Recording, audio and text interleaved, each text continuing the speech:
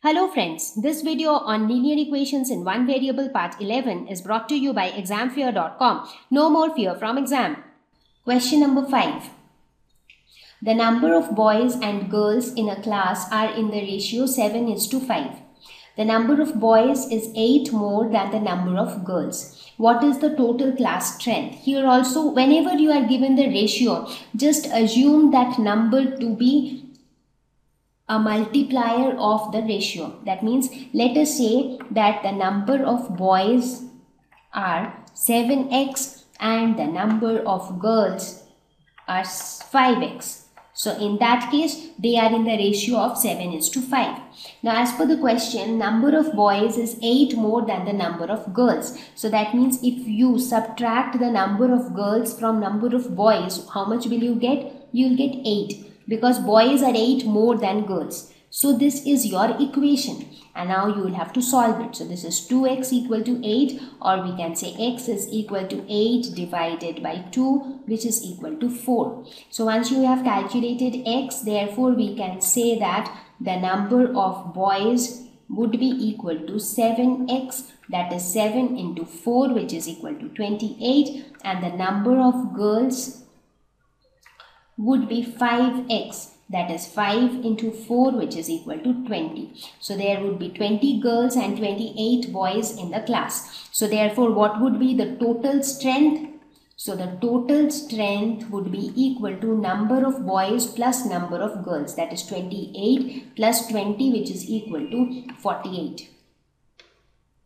Question number 6. Baichung's father is 26 years younger than Baichung's grandfather and 29 years older than Baichung. The sum of the ages of all the three is 135 years. What is the age of each of them? So here in this problem, we have three people involved. So one is the grandfather. Second is the father and the third is Bai Baichung himself. So these are the three people involved here. So let us assume now the first statement tells that Bai Baichung's father is 26 years younger than Bai Baichung's grandfather. That means grandfather is older than his father. That's quite obvious. Similarly, father is older than Bai Baichung. So let us assume that father's age is X because father's age would be the base. So one is greater than him the other one is smaller than him. So grandfather's age would be x plus 26 and Baichung's age would be x minus 29. So that, that's given in the problem. So this is our assumption. Now with this assumption, what would be the sum of their ages? The sum would be x plus 26 plus x plus x minus 29.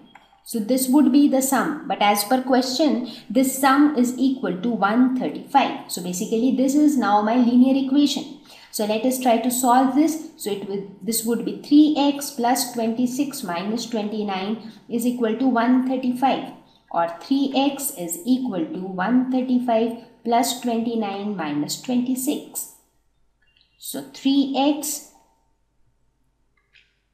so this would be 3x is equal to 138 or x is equal to 138 by 3.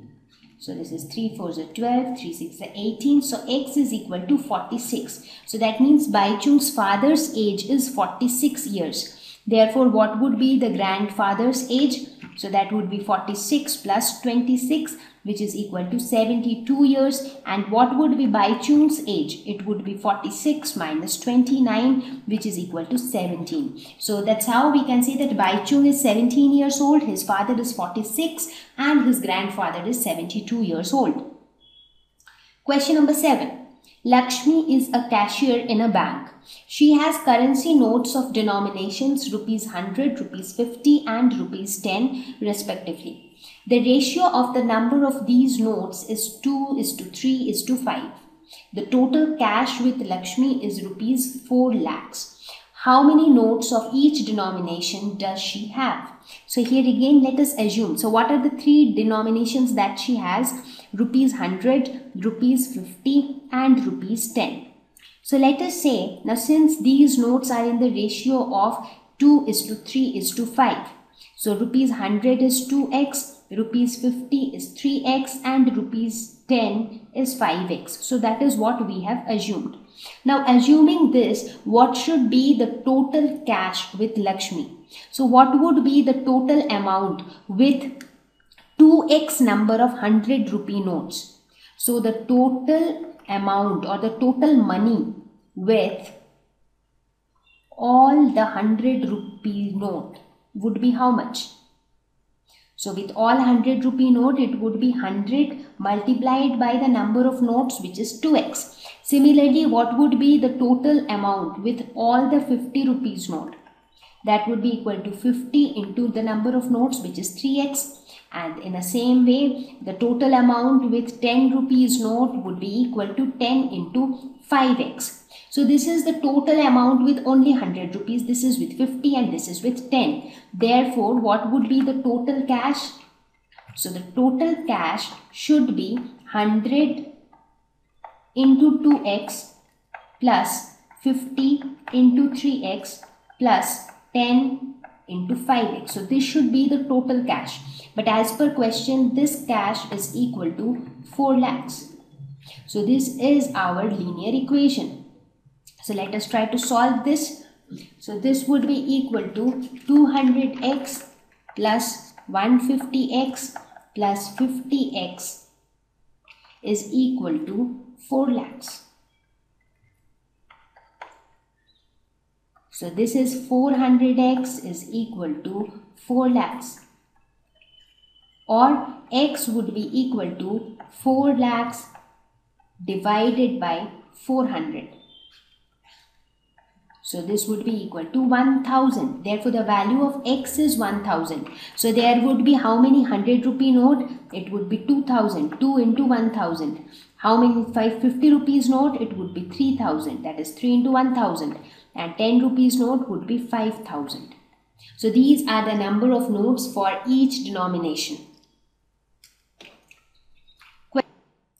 Thank you. Please visit examfear.com for free quality education. You can learn with a simple four-step learning process wherein you can watch video lessons, you can ask your questions, you can refer notes and you can take a free online test. We have content for class 6 to 12 on physics, chemistry, mathematics and biology along with practical videos. So please subscribe to our channel for daily updates. Thank you.